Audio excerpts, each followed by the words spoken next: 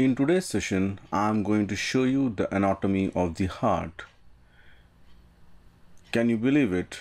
This is all done in PowerPoint. Each and every part is designed in PowerPoint. And uh, this is how the slide works. When I click, it will give the details of each part. You can see here when I click, it shows that the right pulmonary artery, then ascending aorta, pulmonary trunk. So all the details are there when you click each one. This is the left side and this is the right side of the heart. You can see here it gives you all the details one by one on a click of a mouse button.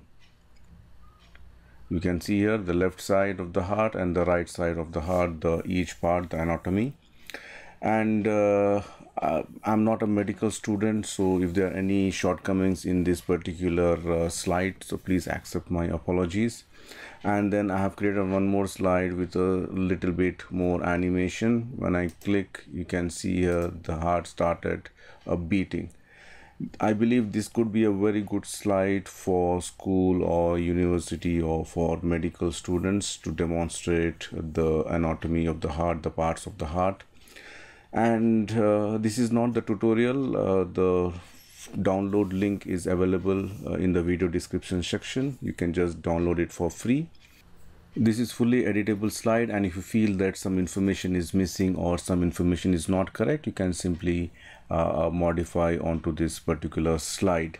And apart from this one the each part is separately. You can just if you feel that colors are not okay if you want to change the colors if you want to change the titles change some more details or add more details you, can, you are fully allowed to do it. And uh, please subscribe to my channel like comment and share my work. Without your support it will be difficult for me to continue so expecting a good positive response and thank you so much.